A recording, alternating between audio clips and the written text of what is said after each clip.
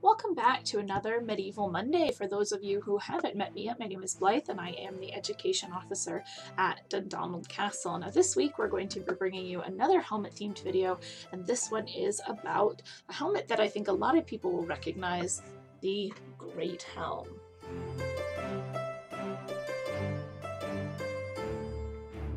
It's in the period of the Norman invasion, so about 950 years ago, were generally smaller, more rounded, and they sometimes had a piece on the front to protect the face called a nasal. Well, this is one that is in the castle's collections and is very appropriately called the nasal helmet. Throughout the 12th century, helmet fashion changed pretty rapidly, the shape of the helmet flattening out like the top of our great helm, and the nasal becoming less and less common. And around the start of the 13th century, so about 800 years ago, armorers had begun attaching metal plates to the front of a helmet so that it would protect the entire face. Now these plates had various punctures in them and slits across the front of the helmet so that the wearer could both see and breathe while wearing the helmet. And this new form of full protection helmet, as you may imagine, came to be known as the Great Helm.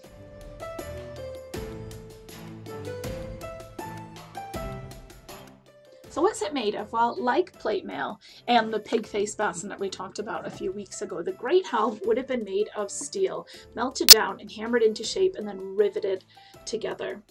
Some decoration may have been added using, using mixtures of different types of metals, like you see here in the cross shape on the face of our helmet, which is likely mixed with brass. Some helmets used more light, more lavish methods of design, including using gold and silver leaf on top of the helmet.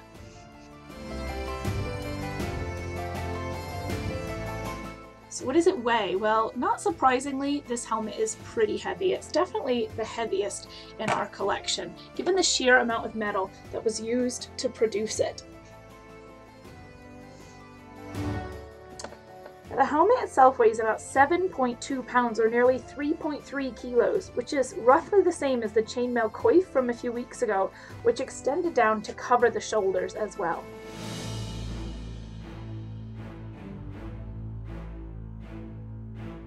So who would have used it? Well, these helmets required a significant amount of smooth metal. And they were also accompanied usually by some type of decoration like you see here, meaning that there was more skill and time required to make them, and therefore they would have been a lot more expensive. So these would have been more for the elite, a lot like the pig face bassinet that we saw a few weeks ago. Only the rich and the elite are going to have helmets like this.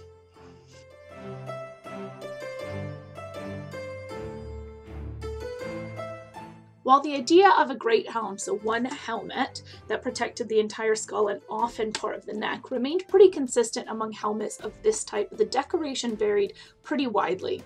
So our great helm is nearly flat on the top.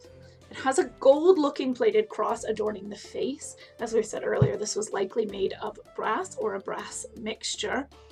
And it has pretty simple air holes. Apart from this one, they're just little dots, really simple air holes. Now, some other ones that were similar to this might have had a more rounded top. See how ours is pretty flat? They might have more decorative air holes, so more pretty shapes. And it was really, really common to have cross-shaped air holes on these as well, which I'll show you a picture of here. Now, some of them, like the bassinets that we talked about, a couple of weeks ago might have even had chainmail attached to them and coming down to protect the shoulders. Now, many helmets saw more fashionable bands across the center like this.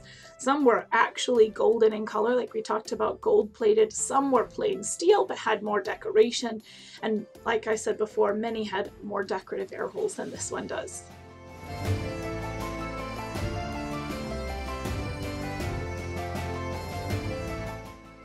Like all of the pieces we've talked about, the Great Helm has a shelf life. It has a period of time where it was really popular and then we start to see it fall away.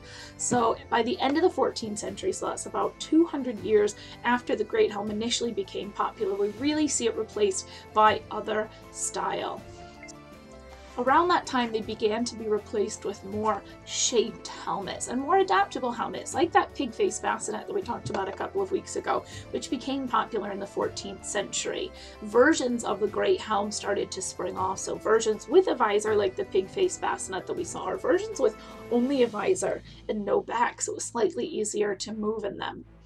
By the end of the 14th century, 600 years ago, a more sculpted style of the great helm had become popular. Now, this style had a curved lower piece, and they called it a frog mouth. And I'll include a link to read about this type of helm in the comments. It's a little bit later than our period, but it's still really, really interesting.